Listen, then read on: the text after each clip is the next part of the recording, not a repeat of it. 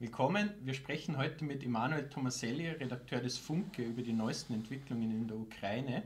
Und nach dem Einmarsch der russischen Armee letzten Donnerstag in das Land äh, haben die Meldungen ja nicht mehr aufgehört über die aktuelle Situation. Aber vielleicht könntest du damit beginnen, uns was über den Hintergrund der jetzigen Invasion zu sagen. Der Krieg in der Ukraine ist ein Wendepunkt der Geschichte er wird äh, langfristige und tiefgreifende Veränderungen für die Arbeiterklasse weltweit bedeuten. Ähm, es ist klar, dass die Sympathie der Weltöffentlichkeit auf der Seite der Leidtragenden und Angegriffenen äh, liegt. Äh, so auch unsere. Es gilt allerdings, einen kühlen Kopf zu bewahren und analytisch zu bleiben, um die Perspektive von Internationalismus und der sozialen Revolution inmitten äh, der Kriegspropaganda ähm, aufrechtzuerhalten. Äh, der Konflikt in der Ukraine hat nicht letzte Woche begonnen, sondern äh, spätestens 2014, wahrscheinlich äh, sogar früher 2008. Äh, es ist tatsächlich so, dass der westliche Imperialismus, äh, die NATO und die EU äh, seit der Jahrtausendwende versuchen, ihren Einflussbereich Richtung Osten auszuweiten. 2008 äh, hat die NATO die Beitrittsperspektive für die Ukraine und äh, Georgien in der Konferenz von Bukarest vorgehalten. Und das Ganze hat auch eine innenpolitische Dimension in der Ukraine. Ein Wendepunkt der, jüngsten, der jüngeren Geschichte der Ukraine ist das Jahr 2014, äh, als der Westen eine, eine Bewegung finanzierte und inspirierte, die sogenannte Maidan-Bewegung die dazu auserkoren war, der, die Macht äh, im ukrainischen Staatsapparat weg von einer pro-russisch oder neutral orientierten Oligarchie hin zu einer westlichen Oligarchie zu verschieben. Dies ist gelungen äh, mit, Hil mit Hilfe offen äh, faschistischer Kräfte. Äh, das ist das dominante Element der ukrainischen Innenpolitik äh, der letzten acht Jahre.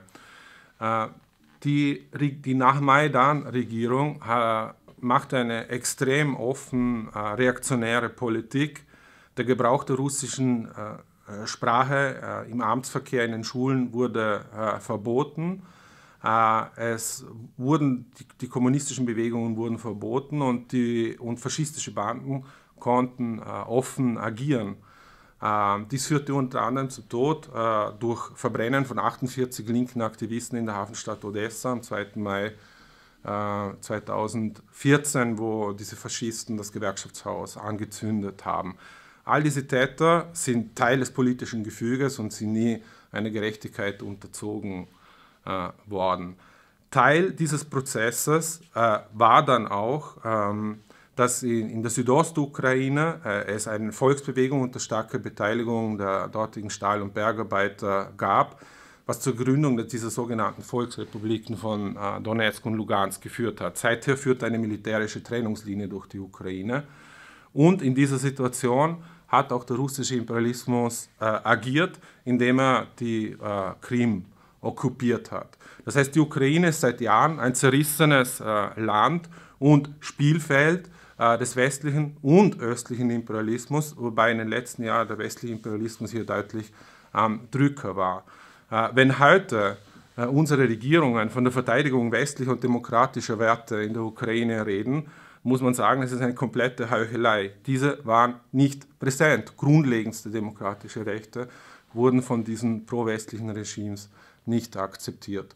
Äh, obwohl äh, der aktuelle Präsident Zelensky quasi auf einem antinationalistischen Ticket gewählt worden ist 2019, was zeigt, dass die ukrainische Bevölkerung nicht äh, äh, hinter diesem rabiaten antirussischen Nationalismus äh, steht, ist der Zelensky in den letzten zwei Jahren sehr wohl unter dem Druck der rechten Sektoren äh, und der EU quasi auf diese Linie äh, eingeschwenkt.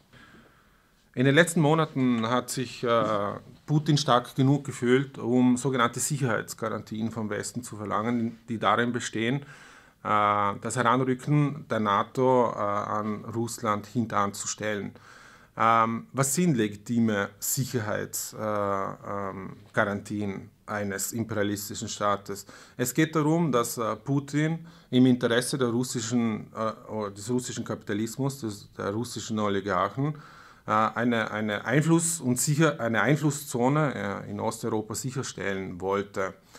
Er fühlte sich, er fühlte die Zeit gekommen, das zu tun, fühlte sich stark, auch angesichts einer gewissen Schwächung des westlichen Imperialismus in den vergangenen Jahren und hat diese Forderungen mit Nachdruck gestellt unter anderem auch durch einen großen militärischen Build-up entlang der Grenzen der Ukraine. Ähm, nachdem seine Forderungen nicht erfüllt worden sind, hat er schlussendlich äh, Ende Februar, also letzte Woche, äh, den Angriffsbefehl auf die Ukraine gegeben, um, um diese imperialistischen Interessen in der Ukraine militärisch durchzusetzen.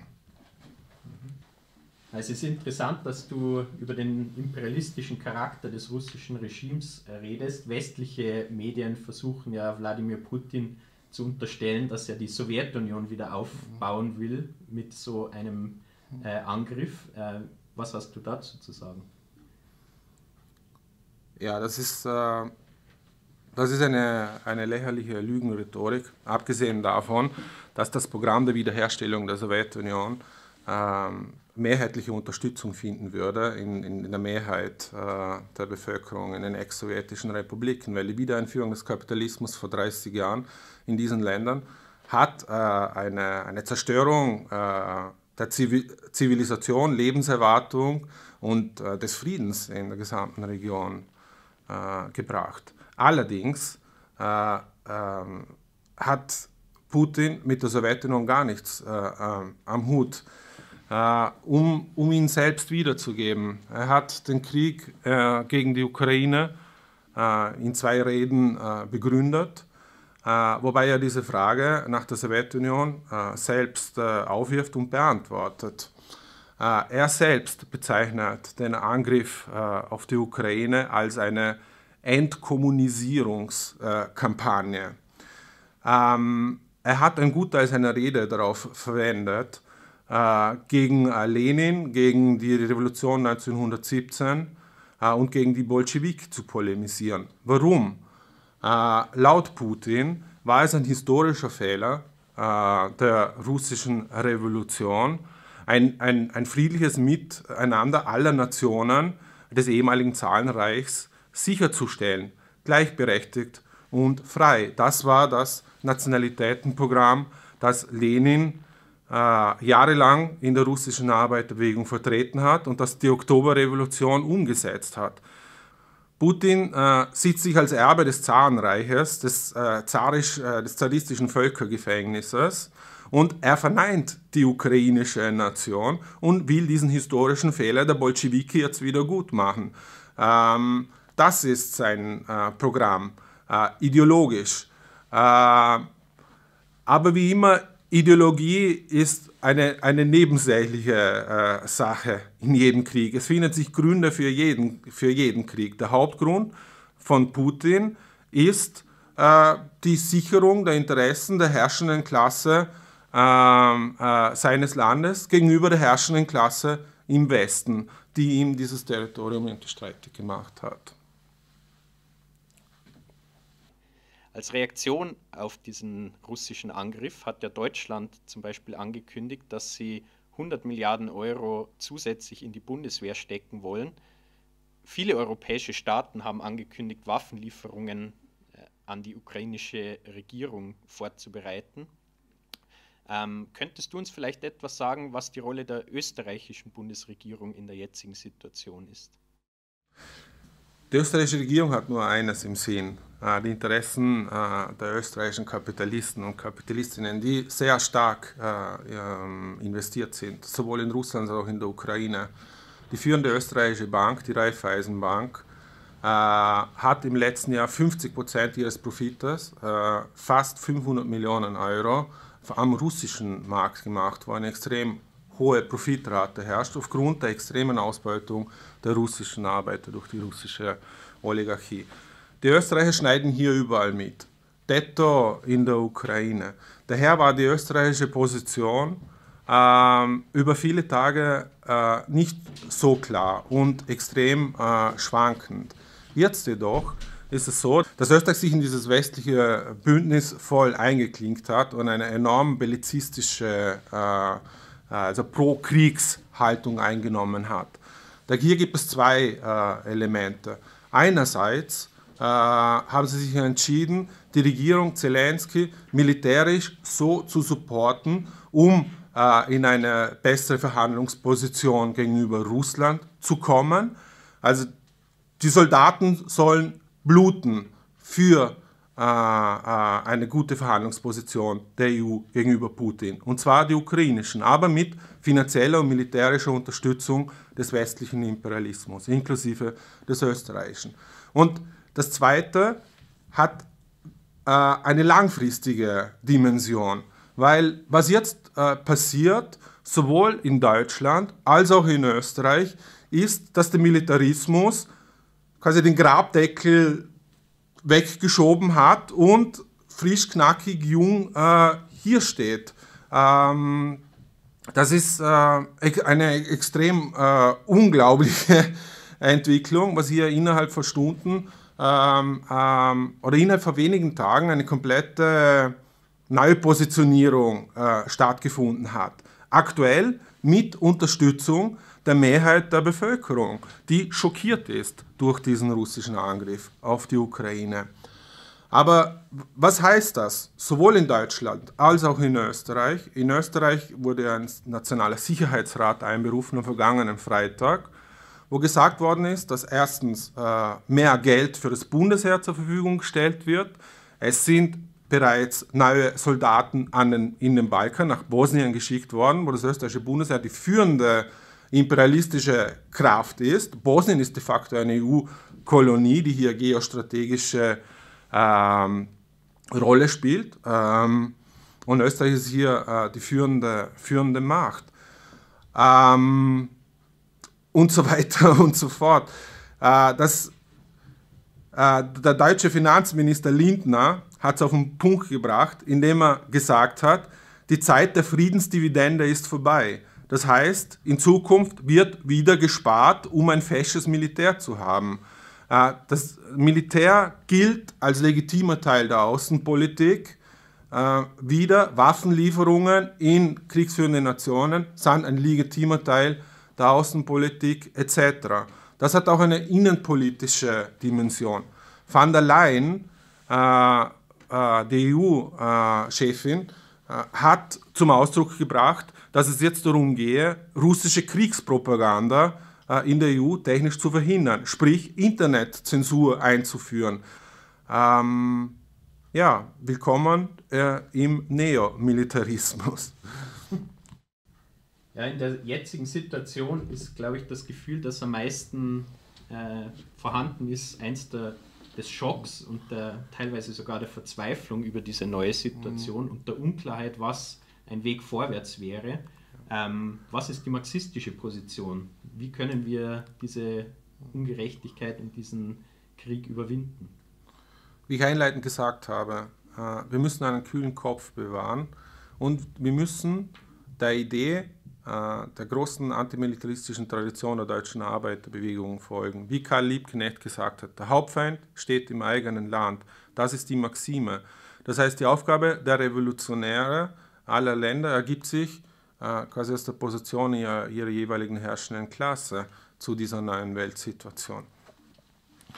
Ähm, in wir müssen hier klarstellen, Putin ist ein extremer Reaktionär und er gehört gestürzt. Aber er gehört gestürzt, das ist die alleinige Aufgabe der russischen Arbeiterbewegung, nicht des westlichen Imperialismus, die so ein militärisches Szenario äh, entwickeln, den Krieg in der Ukraine so lang zu machen, dass Putin irgendwie ausblutet. Nein, das ist nicht unser Programm. Unser Programm ist, dass die russischen, also unsere russischen Klassengeschwister, den, den, Rücken frei haben, um mit Putin und seiner Kreml-Gang selbst fertig zu werden. Bereits seit dem ersten Tag gibt es äh, Massenproteste der russischen Arbeiter und Jugendlichen gegen diesen Krieg. Es gibt tausende Verhaftungen.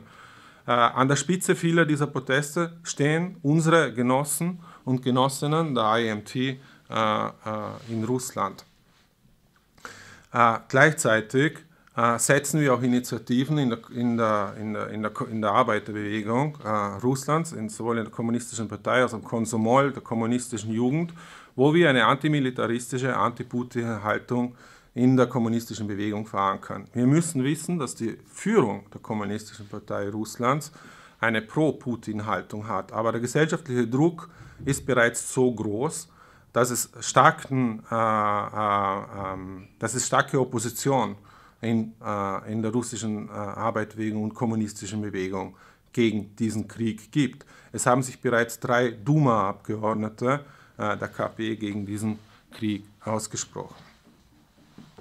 Das ist das, was Russland betrifft.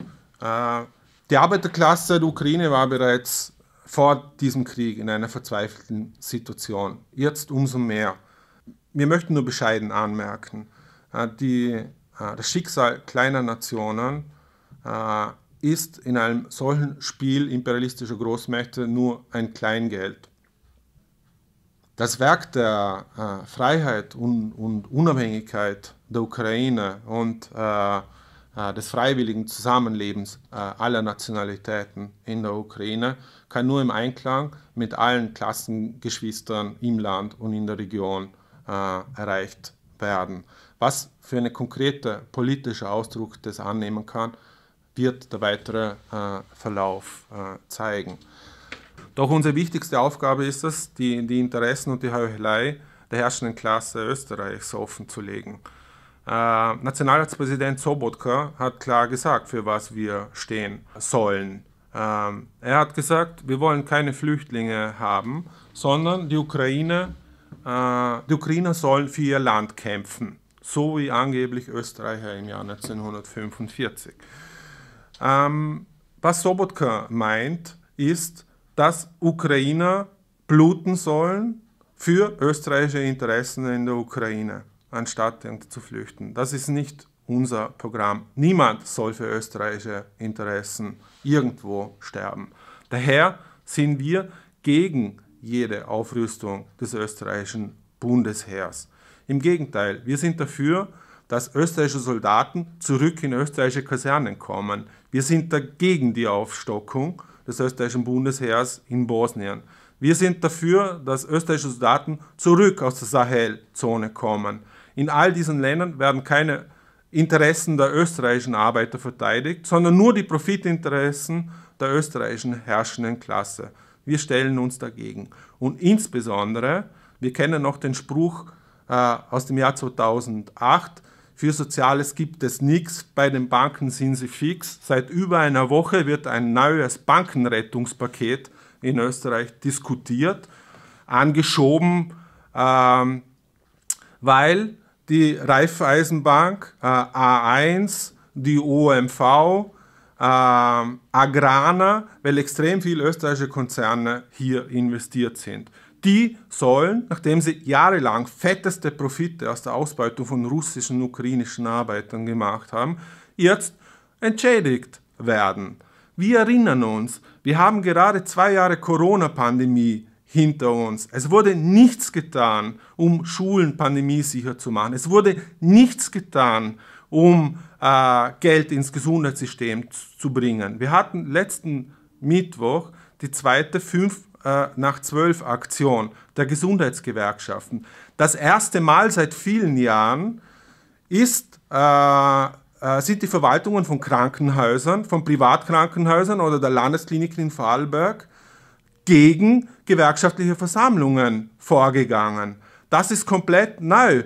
Das ist was Militarismus bedeutet. Krieg nach außen und Krieg gegen die eigene Arbeiterklasse. Wir stellen uns gegen alles, was äh, Profit äh, für österreichisches Kapital im Ausland und im Inland äh, bedeutet. Wir stehen für die Einheit der Arbeiterklasse in Österreich und international. Wir stehen für die soziale Revolution. Machen mit bei uns, bei der IMT, der internationalen marxistischen Tendenz. Tritt dieser Perspektive bei gegen die Barbarei für eine sozialistische Zukunft der Menschheit.